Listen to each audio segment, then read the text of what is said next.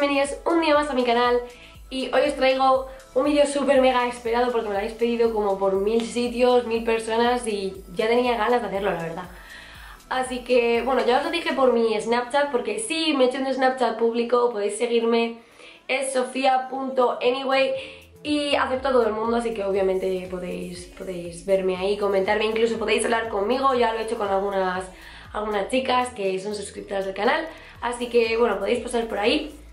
Y hoy os traigo el vídeo de cómo edito mis fotos de Instagram actualizado, más cómo hago las Polaroid, porque me habéis preguntado un montón de personas, porque subí una foto hace muy poco, y me habéis preguntado cómo hago estas Polaroid de aquí, porque obviamente no las he hecho con la mm, cámara Polaroid, las he hecho de mis fotos de Instagram.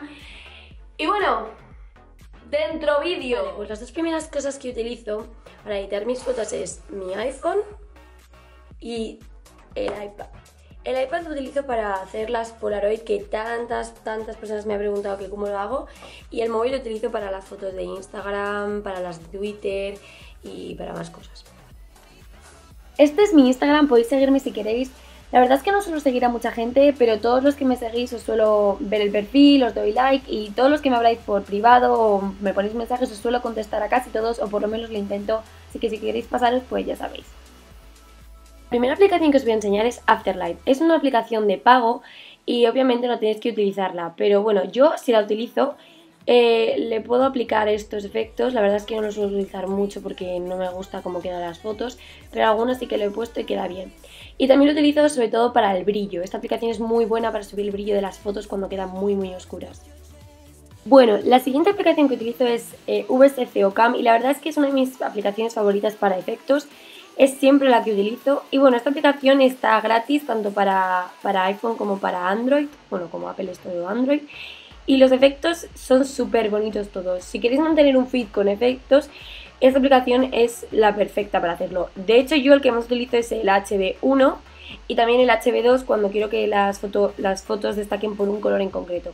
Pero el HB1 le da como ese color blanco que a mí me gustan las fotos y por eso lo utilizo tanto. De hecho, es el que estoy utilizando últimamente en todas mis fotos.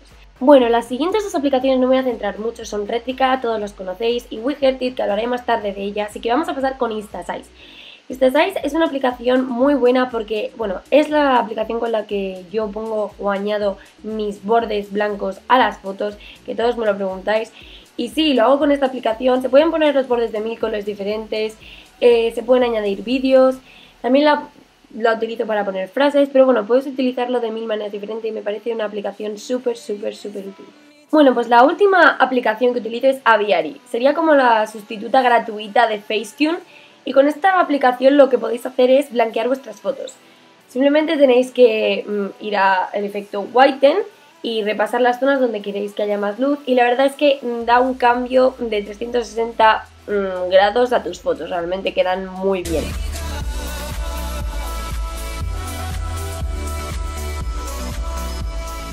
Bueno, a continuación os voy a enseñar cómo hago las Polaroid. Utilizo el iPad en vez del móvil porque me manejo bastante mejor que con el móvil y ahora lo vais a ver por qué. Entramos en WeHearted y buscamos Photo Overlays. Las overlays las podéis utilizar eh, realmente en cualquier foto y de mil maneras diferentes, además hay un montón, así que podéis elegir la que más os guste. Pero en este caso, para las Polaroid necesitamos la fotografía de una Polaroid para poder añadirla encima. Como por ejemplo esta de aquí. Luego la guardaremos y pasaremos a Pixar. Una vez en Pixar, escogeremos la imagen que hemos elegido. Bueno, en este caso escogí otra porque ya lo tenía hecho. Y le daremos a añadir imagen. Una vez añadida la imagen le daremos a recortar y la tenemos que recortar de forma cuadrada, ya sabéis, para poder como tapar la parte negra de la imagen. Una vez ajustada nuestra imagen guardaremos y nos iremos a InstaSize. En InstaSize la tenéis que ajustar un poco si la queréis más pequeña, más grande, pero bueno, yo os recomiendo que la hagáis pequeñita porque las Polaroid suelen ser bastante pequeñas. Guardaríamos y podéis mandárosla por email o podéis imprimirla directamente desde el iPad, como queráis, y ya estaría. Simplemente habría que imprimirla con papel fotográfico o el papel que tengáis a mano. Bueno chicos, y eso ha sido todo por el vídeo de hoy. Si os ha gustado darle like. Si no os ha gustado también darle like. Suscribiros a mi canal que es totalmente gratis. Y, y pues nada, nos vemos en el próximo vídeo. ¡Chao, chao!